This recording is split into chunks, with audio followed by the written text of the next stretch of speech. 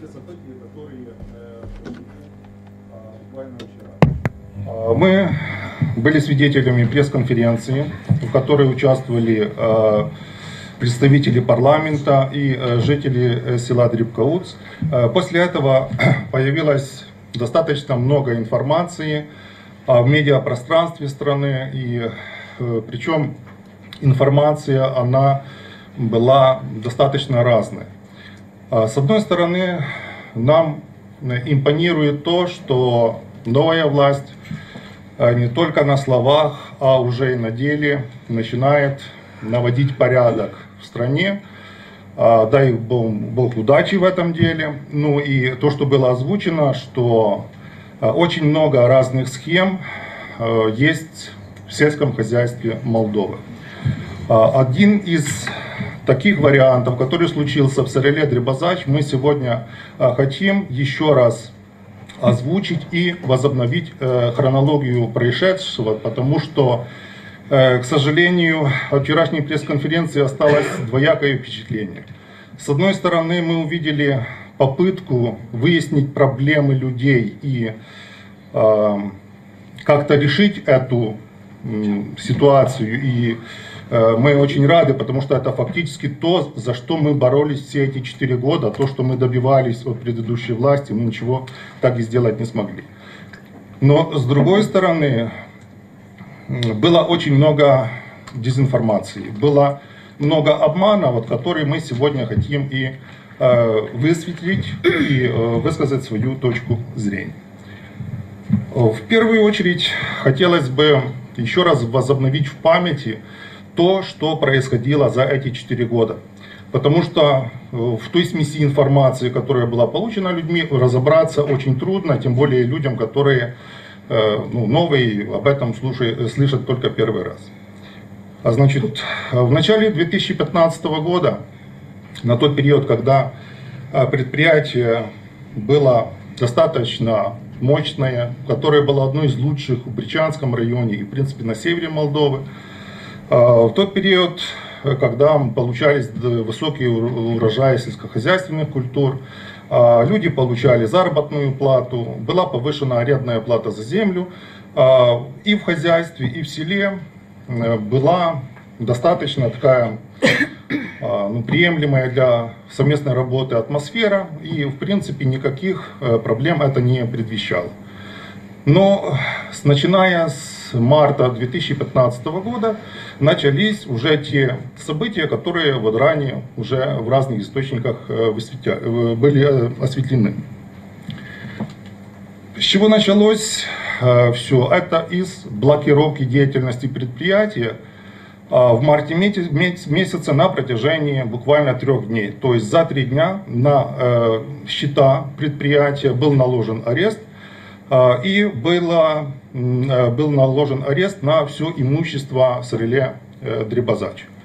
А, Следует отметить а, сроки, когда э, это все осуществилось. Это было все сделано за три дня. После этого следующим этапом была физическая блокировка тракторной бригады. Две недели в самый пик весенней посевной кампании э, техника предприятия не могла выйти в поля и не могла произвести посев основных сельскохозяйственных культур. При этом отмечаем полное бездействие представителей как власти, так и полиции. Когда уже техника смогла выйти в поле, мы потеряли сроки посева, часть культур не была высеяна. Из-за этого предприятие автоматически нарушило целый ряд заключенных ранее договоров э, и была вынуждена платить, согласно условиям этих договоров, э, неустойки. То есть мы получили сразу же очень серьезный экономический э, удар. Но кроме этого, почти 900 гектар земли было засеяно третьими лицами. Э, мы считаем, и тогда мы обращались все органы власти, что это был самозахват, потому что те люди, которые проводили посев, они на это не имели никакого законного основания. Мало того, что было, был произведен посев, сразу же на основании договоров а, такие фирмы, как Capital Plant, Plant Nord, поставили в залог будущий урожай тем компаниям, у которых они взяли семена, минеральные удобрения и средства защиты растений. То есть мы получились а, в очень таком критическом положении, а, без абсолютно никакой поддержки со стороны местной власти и полиции, ну, вынуждены были как-то с этим справляться и двигаться дальше, потому что перед нами были обязательства по выплате зарплат, по выплате арендной платы и так далее. В этот период происходит еще одна очень важная вещь. На основе сфальсифицированных документов э, у предприятия забирается э, тракторная бригада и зерноток. Это фактически самые важные и самые дорогие элементы, которые относятся к водевалорике, то есть то, что принадлежит. И принадлежит не только тем 300 человекам, которые, 300 людям, которые ну, вчера высказывали нам претензию, а хочу отметить, что в селе более тысячи квотчиков, и это имущество принадлежало в ровной части всем им. А, но на сегодняшний день предприятие осталось без этих двух самых важных объектов. Э, после того, как часть имущественного квоты была утеряна, а, следующий этап это был поиск крайнего виноватого в этом всем. И таким оказался администратор Сареле Дребазач Дукач Владимир, а, против которого было сфабриковано уголовное дело за воровство, якобы он продал имущество, принадлежащее квотчикам. При этом а, те люди, которые были в списках, которые якобы расписались под данным заявлением, а, они официально подтвердили, что они об этом не знают, они никаких претензий к Дукачу не имели, и своих подписей они под этим заявлением не ставили. А, вот такой, а, такая ситуация была на конец 2015 года. А, предприятие э, совместными, я думаю, что с э, усилиями администрации, совместными усилиями работников предприятия и совместно с поддержкой жителей села все равно сумела выстоять. Тогда была поставлена следующая задача это уже, ну, как говорится, добить лежащего. Значит, через использование местной власти, через примарию а, были сфальсифицированы документы, а, на основании которых Сареле Дребазач получила долг а, в 2 миллиона лей. Это стало поводом для начала процедуры банкротства предприятия. Эм, вот на сегодняшний день мы имеем такую вот картину. Плюс к этому а, было решено или было получено решение суда о расторжении договоров аренды более чем с 300 квотчиками. Как это происходило, очень интересная история, которая должна изучаться, наверное, в учебниках по юриспруденции, потому что ну, где-то в мире э, такое существует. Три минуты понадобилось судье для того, чтобы рассмотреть заявление больше, чем 300 вводчиков, а, на первом заседании вынести решение и расторгнуть договора аренды. А, Ситуация неприятная, но факт остается фактом, это а, произошло. И хотел бы сразу прокомментировать вчерашнее, скажем, заявление в наш адрес, что Среле Дребазач пользовалась на тот период поддержкой политических сил, в том числе назывались люди из партии демократов. Вот хочу задать простой вопрос. Если бы у нас была такая поддержка партии, которая на тот момент имела фактически всю власть в своих руках, мы бы получили такой результат. Нам бы за три дня заблокировали все основные производственные участки. Нам бы за три минуты расторгли 300 договоров аренды. Нам бы разрешили, чтобы нас блокировали две недели, и мы не смогли посеять а, те земли, которые мы должны были обрабатывать. Я думаю, что ответ очевиден. А, И вообще в этом деле а, выскажу свое мнение. Политическая составляющая является для отвода глаз, которая применяется и э, для манипу- манипуляции, в том числе э, судебной системой.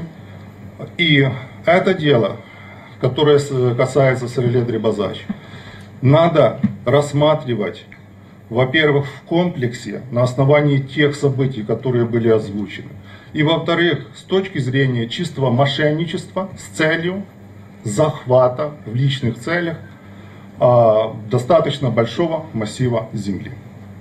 И когда э, та комиссия, которая была вот анонсирована, что она будет создана, а, рассмотрит это объективно, то я думаю, что как раз и мы на эти все вопросы получим правильные ответы. И все прекрасно поймут, чья это схема, кто за этим стоит и чего добиваются эти люди.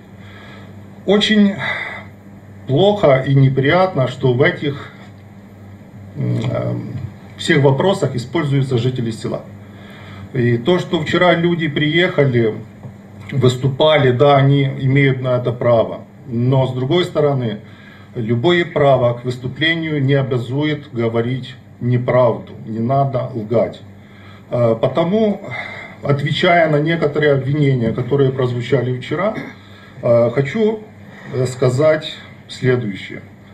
Э, Да, прозвучало, что они выиграли все суды, но ничего для них не было якобы сделано. Мы подтверждаем, что мы при прошедшей власти, мы проиграли все суды. И это логично. Мы не могли ничего выиграть. И то, что я озвучил, как расторгались договора, как блокировалось, это только в очередной раз подтверждает правдивость этих слов, но это было искажено и подано в совсем другом э, свете. Э, Второе, что нам было предъявлено, то, что мы не выдаем землю, которая по решению, пусть даже вот такому мистическому суда, но мы должны выдать. И мы встречались э, с представителями э, квотчиков э, и обсуждали этот вопрос. Но проблема состоит в другом. Они не хотят забирать свою землю, потому что мы готовы вернуть землю, но опять же только по законному порядку. Каждый квотчик своим титулом должен прийти, написать заявление на расторжение договора и на выдачу ему земельного участка. Земельный участок будет выделен в натуре на том месте, где он зарегистрирован в кадастре. После этого уже сообща на общем собрании с другими квотчиками можно рассматривать вопрос консолидации земель. Но, как вы понимаете, другая сторона не хочет, э, не хочет этого, они хотят взять все сразу и на тех полях, которые им больше всего нравятся. Я, как представитель администрации Дребозач, могу сказать, что на такой шаг мы пойти не можем, потому что на тех участках, которые они хотят взять, находятся земли других, других квотчиков, которые являются хозяевами этими земли. И мы без их разрешения ничего подобного сделать просто не можем. Следующее объявление, э, э, обвинение было в том, что мы не рассчитывались а, согласно договоров за аренду земли. А, могу сказать, что это тоже неправда. И не только сказать, а и подтвердить документально. Значит, у нас есть документы, начиная с элементарных и простых, объявления, которые были распространены по всему селу, что Сареле Древозач проводит выдачу арендной платы за землю. В 15-16 году в местной газете были официальные публикации с той же информацией, что Сареле Дребазач производит выплату, подчеркиваю, для всех квотчиков, э, которые сдали в аренду нам землю. И э, за 15 и то, что говорят, 16 год, они не получили арендную плату не потому, что Сареле Дребазач не выдавала, а потому что, я думаю, что люди и сотрудники Сареле Дребазач, которые были на зернотаку, могут подтвердить, находились представители примарии, которые по списку отслеживали людей, которые приходили за зерном и не пускали их на зерноток для получения арендной платы. Хотя тут тоже есть маленький такой нюанс, что те люди, которые получи, передали э, свою землю на предприятие Капитал Плант и потом Плант Норд, они получили арендную плату от этих компаний. На это есть подтверждающие документы из фискальной службы, где по этим людям указана сумма арендной платы. То есть люди заведомо обманывают и суд, и ЧНА, и другие органы, говоря, что они ничего не получали. Они получали. Для чего все это надо было сделать? То есть, с одной стороны, с людьми рассчиталась та группа людей, которая начала всю эту э, схему против Срелья Дребазача. С другой стороны, они не пускали на э, зерноток Сареле Дребазач квотчиков для того, чтобы искусственно создать долг предприятия перед этими квотчиками, что в принципе и стало основанием для подачи в суд их на расторжение договора аренды якобы за невыполнение своих договорных обязательств. О наличии долга предприятия перед квотчиками, наличие долга предприятия перед примарией стало поводом для подачи э, искового заявления и э, начала процедуры банкротства предприятия, о чем я уже выше и говорил. Хотя долга никакого перед примарией на сегодняшний день не существует. И опять же есть подтверждающие на то документы, были проведены ревизии, получены сертификаты, говорящие то, о том, что на сегодняшний день, если быть уже э, полностью честным, Сареле Дребазач имеет небольшой долг в размере 4000 лей, который в пределах ну, законно допустимых рамок, и он будет закрыт. Ни о каких двух миллионах речи идти даже не может. Вот Эм, кратко вы услышали то, что за эти годы происходило в предприятии, то, к чему это все было направлено. И конечный результат, подчеркиваю, это является захват земель, это банкротство предприятия и решение личных экономических вопросов. Потому мы были вчера удовлетворены решением господина Слюсаря о создании комиссии для расследования этого дела. Мы хотим, чтобы это произошло, чтобы расследование было объективным И я думаю, что тогда многие вопросы будут просто закрыты. Скажите, пожалуйста, кто преследовал цель захвата вашего предприятия? И кто, вот изначально, если, ну, вкратце, если можно, вы взяли в аренду землю у людей, да? Мы так понимаем? Предприятие. А, Значит, инвестор пришел а, в СРЛ Дрибазач в 2011 году. На это время были уже заключены договора аренды на 10 лет. А, Первых а, три года все жители села, все квотчики приходили и исправно получали а, свою арендную плату. Э, После того, чтобы вы понимали, мы пришли в очень неблагоприятные э, предприятия, которые, ну, скорее всего, эта ситуация была связана не столько как с работой предыдущего руководства, а и с климатическими э, условиями. То есть два года была часть земель затоп...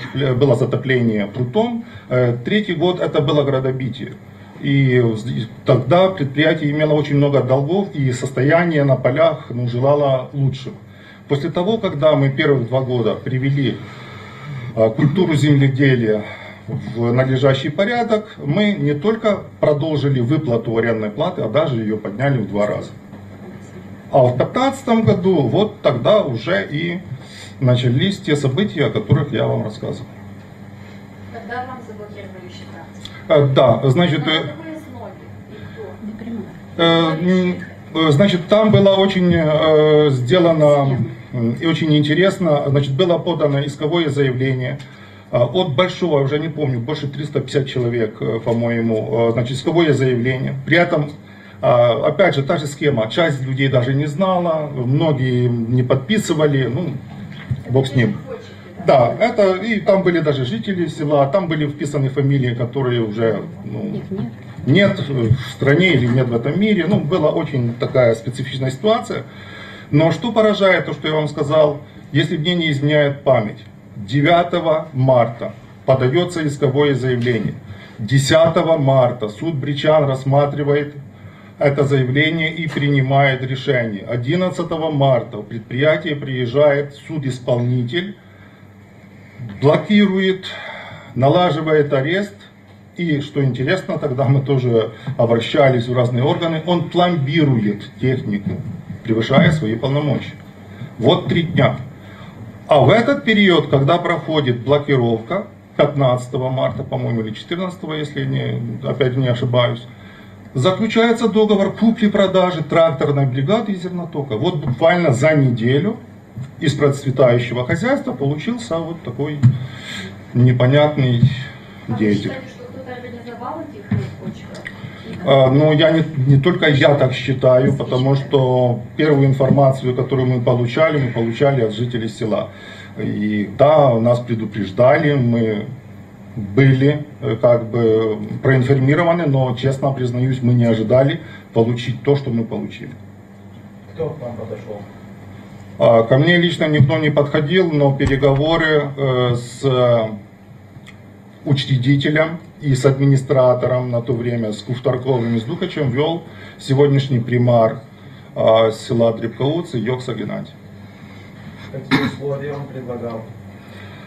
Ну, условия, в принципе, те, которые остаются на сегодняшний день. 800-900 гектар земли. Тогда говорилось в субаренду, за чего это все началось, потому что мы, опять же, не имели права отдавать землю, которую арендуем, субаренду без разрешения а, собственников этой земли. То есть они этого хотели, смогли выйти с вами на определенные договоренности, они захотели уже другим путем попробовать. Да, то есть, когда они поняли, что мы не пойдем на нарушение законодательства, мы не пойдем на то, чтобы э, переступить через интересы другой части квотчиков, то я вам сказал, что в селе квотчиков больше тысячи, а не этих там 150 или 200, что они озвучивают. И когда было понято, что мы на эти условия не идем, вот тогда дальше применилась вот такая вот поэтапная схема, которая предвидела блокировку предприятия на всех уровнях, в том числе и физическую, когда, да, две недели мы не могли ничего сделать, мы не сеяли. Нас провоцировали а, на то, чтобы мы предприняли какие-то более активные действия, но мы сами просили наших сотрудников не нагнетать ситуацию, просто ждали. Пока мы ждали, они засеяли вот почти 900 гектар земли.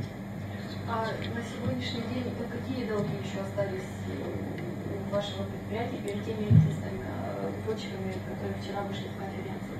Есть еще какие-то долги? Э, Я думаю, что на этот вопрос, э, ну, скажем, э, наверное, более профессионально ответят юристы. Но я со своей точ- точки зрения могу сказать, что кроме того, что они предъявляют вот долги да, по невыдаче арендной платы, Пусть они неправильные, потому что вы понимаете, был самозахват земли. За те земли, которые захватили, они получали от другой стороны арендную плату. Но даже с этим, с учетом этого, мы можем признать, и пусть приходят к нам и получают. Но опять же, почему я говорю, что вчера услышали неправду? Потому что, с одной стороны, людей не пускают прийти. То есть конкретного собственника земли к нам на зерноток не пускают. Некоторые люди хотят забрать для них все одной партии зерна. Опять же, на это мы не можем пойти, потому что должен прийти собственник земли, он должен расписаться а, в акте о получении. Тогда мы можем считать наши обязательства выполненным. Потому они говорят, что мы не выдаем, но с другой стороны не идут. Хотя есть тоже вот ведомость, которая подтверждает, что те люди, которые не получили плату арендную в 2015-2016 году, почти все пришли к нам в 2017 году, и они получили свою арендную плату. То есть это сделано было искусственно, и я вам сказал, для каких целей. Вы говорили о, о самоуправстве насчет э, 900 гектар земли. Э, они продали эту продукцию госагрофирме. Так получается. Они выдали паи людям э, 2000 за 2015-2016. Йокса так э, утверждал для нашего издания, мужмир.мд. Но сейчас они просят у вас. Не считаете, что это нарушение закона? Но опять же, это больше юридический э, вопрос. Э, Мое личное мнение, я считаю, что это является нарушением закона, потому что три года мы вызывали э, полицию, Слепканс, Бричан, мы вызывали представителей власти, мы фиксировали факт самозахвата. Первый год 915 гектар, второй год 800, там, не помню уже, 25, третий год 650 гектар земли. Вот при полном бездействии Э, вот, э, та сторона использовала такое количество земли три года, и эти земли были переданы третьим э, лицам, в том числе и та компания, что вы называли, кроме этого были и другие, были э, Ферталитати, были Витрейт, э, которые, я думаю, что были таким же обманным путем вовлечены в это дело, как вот вчера мы а, видели попытку вовлечь представителей новой власти в расследование этого дела, потому что э, эта пресс-конференция, которая состоялась вчера, она была сделана неспроста. Сегодня в Бельцах состоялось судебное заседание по делу Среле Дребазач по расторжению договора в аренды земли.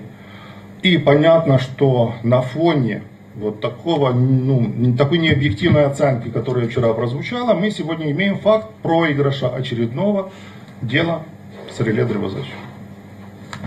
Вы думаете, что это было это, это политическое решение судей сегодня? Они я- испугались, они испугались новой власти? Нет. Э, Нет, это не политическое решение. Я вас просил, тоже говорил, что давайте политику с этого вопроса уберем. Это вопрос мошенничества. А просто то, что выходит уважаемый человек, депутат, да, вице-президент парламента и обвиняет прямым текстом предприятие, я думаю, да, это где-то в какой-то мере повлияло на решение судей. А Вы Потому, думаете, что нужно было взять второе мнение? а, так мы, потому мы сегодня и собрались для того, чтобы высказать, и мы за проверки, за любые проверки, но только за объективные, и чтобы выслушали обе стороны, и тогда мы примем любое решение, но адекватное и объективное.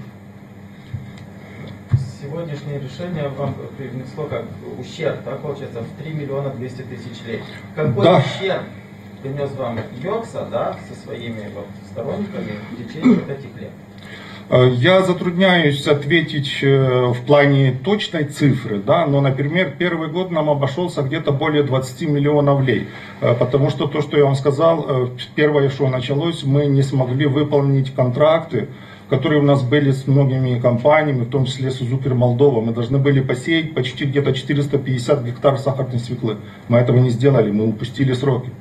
Мы компенсировали им, а они у нас вложили удобрения, они тогда предоставили семена и так далее. И так э, вот э, это одна сторона медали. Э, Я как агроном вам могу сказать, что очень трудно посчитать убыток, но можно посчитать, что каждый день весенний, когда не проводится в оптимальные сроки посев культуры, он уже приносит минус к урожаю. Минус к урожаю это минус к прибыли.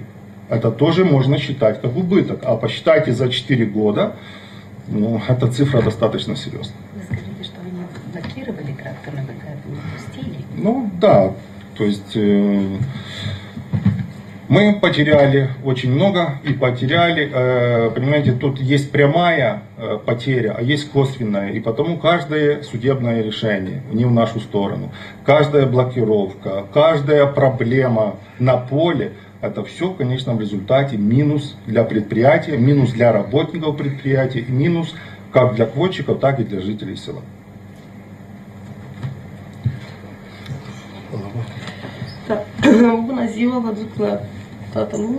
Mă numesc Ala Proca, locuitoarea satului Drepcăuț și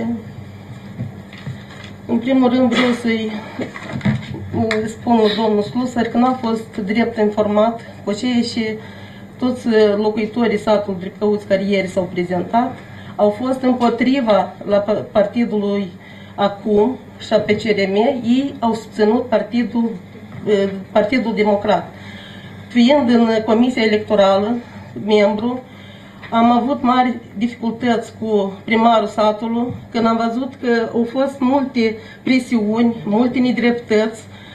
Mă aflam în teritoriu ca membru a comisiei și el a venit la mine și m-a amenințat cu cuvinte foarte urâte, că el nu-și poate acumula voturile și el și le, le-a pus, s-a gândit că să le strângă, să le acumuleze. Acum eu m-am jăluit soțului meu pe telefon. În scurt timp el s-a întâlnit cu domnul Ioxa. Eu, nici n-a așteptat mult, l-a murit, că chiar l-a lovit, l-a umplut de sânge, s-a, s-a trezit cu comoți cerebrală, fractura, fractura nasului și un dinte din gură i-a sărit. Când Ioxa s-a amenințat, s-a lies numai cu amendă când domnul Sergiu Sârbu, nu știu dacă a fost lovit ori nu, că nu s-a văzut așa la... Nu contează. Da, domnul care ședea din penitenciar era plin de sânge, așa l-a trezit cu dosar penal și, și închis în penitenciar. Aici numai cu... Și domnul Slusă a văzut toate iese nedreptăți, deși nu s-a interesat și nu s-a informat cine sunt oamenii ceia care au venit, care în, în, în electoral au fost împotriva lor. Vă mulțumesc.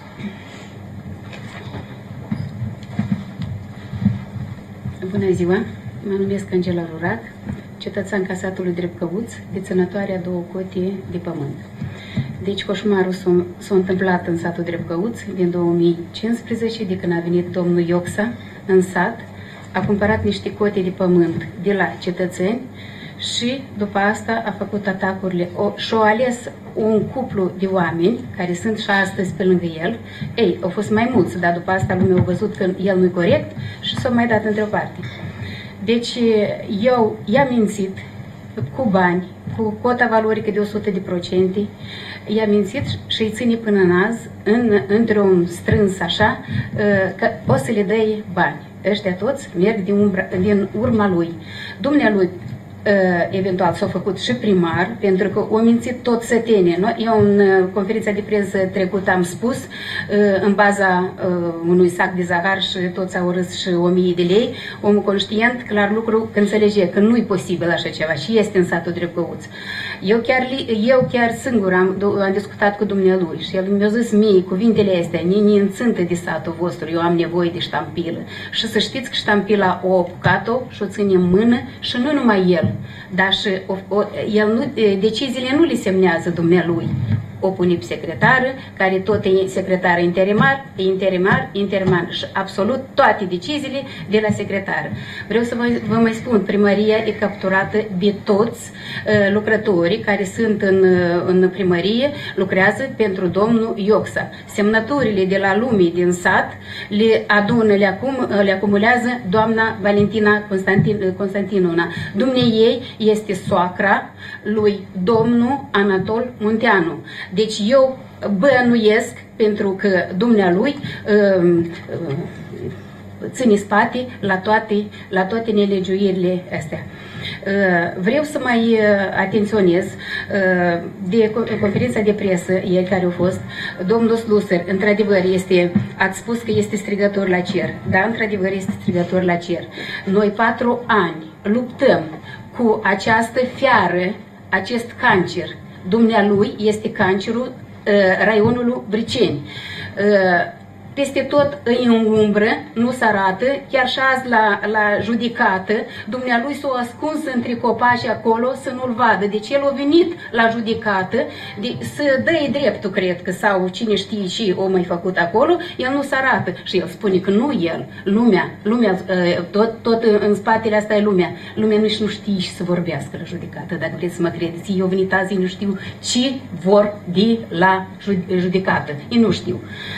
Altă întrebare. Ieri de, la conferința de presă spuneau chiar și domnul Mica, cu mătrul meu, cu mătrul Andrei Mica, dacă nu știi pentru ce ți s-a pus uh, sechestru, vreau să-ți spun, când ați stat la brigada de tractoare și ați blocat uh, semănatul sfecle de zahăr și, și nu s-a, nu s-a semănat în timp, au rămas uh, serele drebozaci cu datorii, cine să le plătească datoriile? Nu cine a blocat semănatul recoltei? Ați stat trei săptămâni și v-a plătit 200 de, de lei pe zi și 300 pe noapte. Voi vă faceți acolo rând nu știați cât, cât să adunați, câți bani să vă adunați, să vă îmbogățiți cu asta. Voi nu știți ce înseamnă asta banul câștigat pe e, degeaba?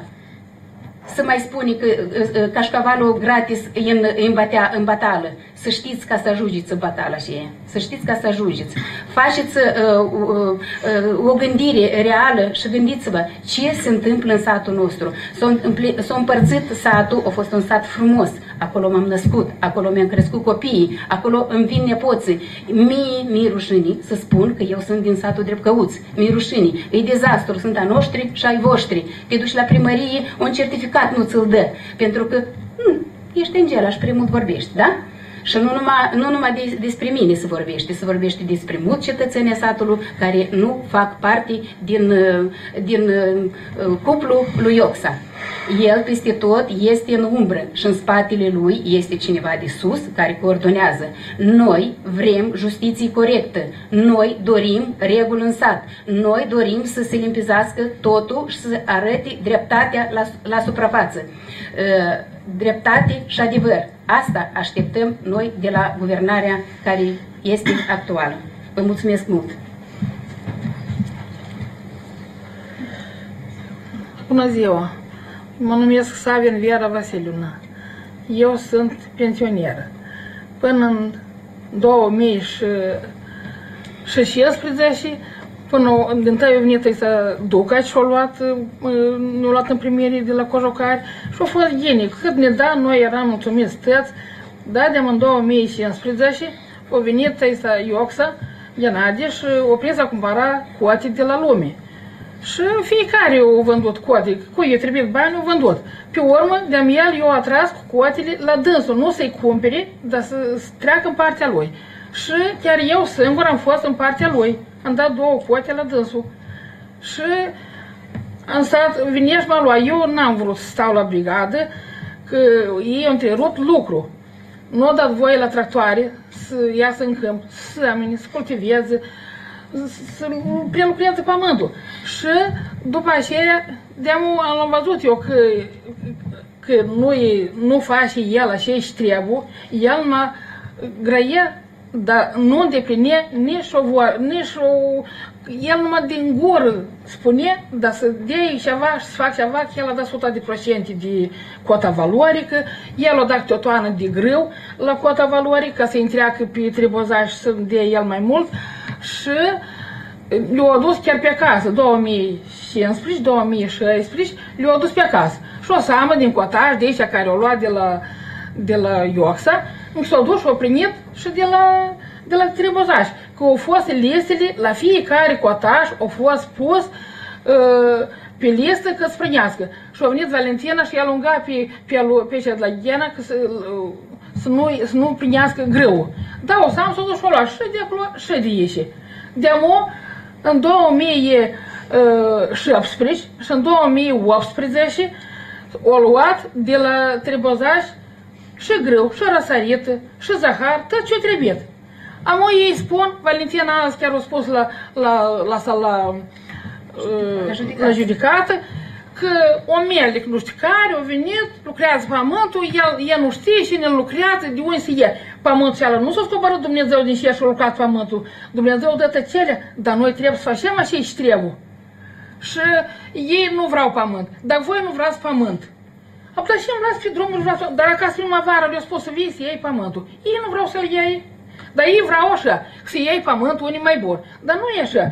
10 cote e pe ăsta, teren, 20 de cote pe alt teren, teren unde se cuvine și cât se cuvine, așa lasă împărțat la fiecare. Că doar și așa e, și așa e, și lasă de și lor, dar și aici și rămân aici, și aici tot sunt oameni, și aici tot trebuie să hrănească și, și atâția ani lucrează pământul, îl ară, îl seamănă, strâng. Și când e problemă, când l-a strâns, când l-a samanat, ei atunci se răscoală. Că Valentina a spus azi că, că eu vreau să iei pământul, dar de greu era samanat. Dar ei dacă au știut de cu toamnă, că pământul, dar putea să înțeleagă, cu, cu trebozaș, trebuie, trebuie să-i da greu samanat. Sunt turnat poate uh, cheltuielile și aveau și greu și aveau și cele, de ce n-am venit să lucreze? Dar nu mă grăiesc. Și vin tăța și ei mincinoși, cu minciuni și deși și nu au lucrat în colhoz, eu am lucrat de la clasa 7, am lucrat în colhoz și am lucrat și după pensie.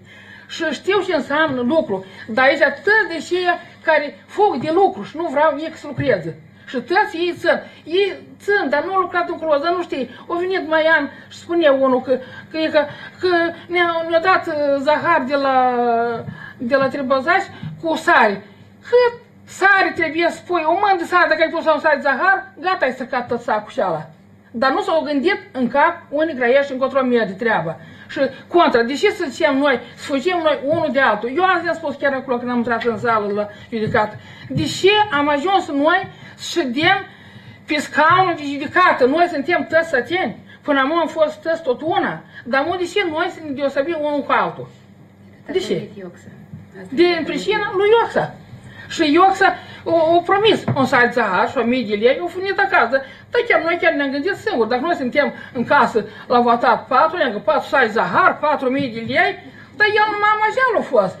Dar de mo, care, de când mi-am venit mintea la loc, a fost de dacă era de târziu, era târziu. Și când am văzut așa că el numai și, a, a, un an nu m-am luat cota de la dânsul și restul a ieșit și nici ne ajunge 600 de kg de greu, mi-a fost destul când mi-a dat de ieși. 600 de kg de greu și Da, și răsărită și, și zahar, cert. Dar aici cum a putut să iei și spune, spune ei azi că, că ei, ei nu au luat, dar ei nu știu cine a lucrat pământul. Un mielic nu știu care a lucrat pământul. Cum să fac proști dacă ești din satul ăsta? Și tare gine, Dar la primit Da. greu ei da, sprimi. tare știi gine și ei și cum mai gine că, că îmblă prin sat, îmblă la primărie și nu va, nu, nu-i vede care și cine e el. Și e ca așa, nu e o babă bătrână care nu vede și săraca ei nici nu vede și nu aude și nu, nu știe cine e om și la auză de familie. Acum nu trebuie să faci așa. Și azi așa bucuroși o bărsă acasă, că e o câștigat, câștigat judecata. Pentru ce asta? Cui îi trebuie asta? O dus atâta, atâta lume, o dus ei și ieri aici. Spui misiuni? Pentru ce spui misiuni? Spune ce și drept. Că, că dreptatea, soră nu, dacă n-a să iasă azi, e ea să iasă mâine și tot ar fi dreptate. Și e Asta așa. dacă se mai poate. Vă mulțumesc pentru... Ați iată. Deci n-am mai menționat încă, încă ceva. Uh, În 2015, dumnealui o, o sămănat uh, Ioxa uh, cu Plant Nord și Rusa Groprim, o sămănat, toamna, a venit la, col- la strâns roada, Uh, nu vă închipuiți ce era. Uh, De ziua independență, când nu era nicăieri, uh, uh, justiția nu funcționa.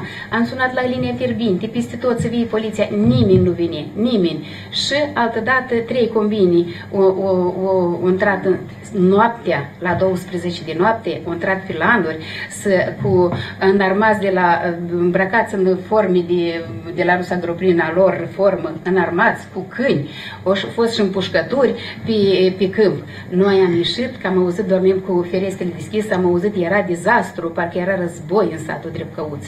Era jale și sfârșit în satul Drepcăuț.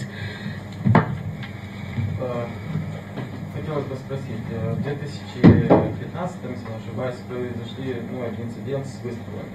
Da. Кого э, застрелили и как получилось так, что это дело, ну, получается, уголовное дело закрыть? Ну, по поводу какое это дело, я тоже вам как бы аргументированно или профессионально ответить не могу. Это вопрос э, к юристам, адвокатам и вообще к прокуратуре, которая должна была это расследовать. По поводу того, как это произошло, ну, скажу так, что я в тот день тоже находился там и как бы был свидетелем этих происшествий.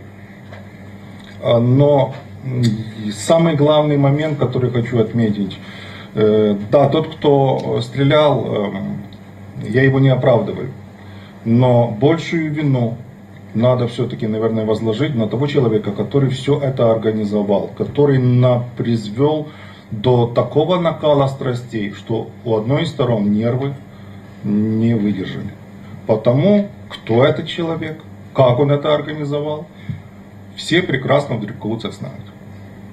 Вы говорили, что было принято решение за три минуты насчет Лилии Цуркан. Как получилось так, что это дело попало к Лилии Цуркан, э, председателю да, Пятнецкого Ну, э, этот вопрос мы уже э, ранее тоже высветливали, но, в принципе, как оно попало, ответ очень простой, с нарушением всех рамок законодательства. Она не имела права э, сама взять это дело для себя в Дюндюшаны, зная, что там другого судьи нет.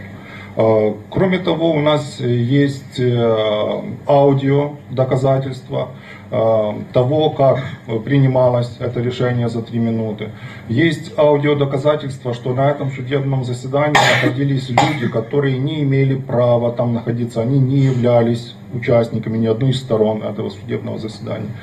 Э, Вы там можете услышать, как э, судья прямым текстом сказала, что она взяла это дело не для того, чтобы затягивать его, то что просили о переносе рассмотрения, а для того, чтобы быстрее решить этот вопрос. Вот этот вопрос и был решен. Э, Мы с своей стороны писали очень много заявлений э, о том, чтобы привлечь к ответственности. Но все, вплоть до высшего э, совета магистратуры, везде сделали вид, что никакого нарушения не произошло. Так в Молдове закон пишет, так можно.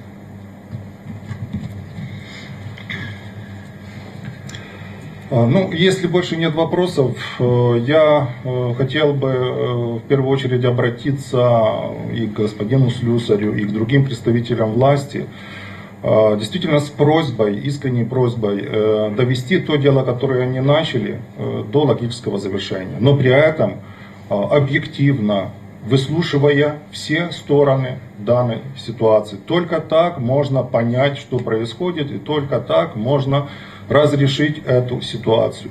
Потому что из-за каких-то личных экономических выгод, финансовых выгод одного человека, в селе страдают все жители. И эта ситуация должна закончиться в селе так, чтобы правых и виноватых среди людей не оказалось. Спасибо вам большое за то, что вы дали нам возможность сегодня высказаться. И эм, благодарим и надеемся на помощь со стороны власти.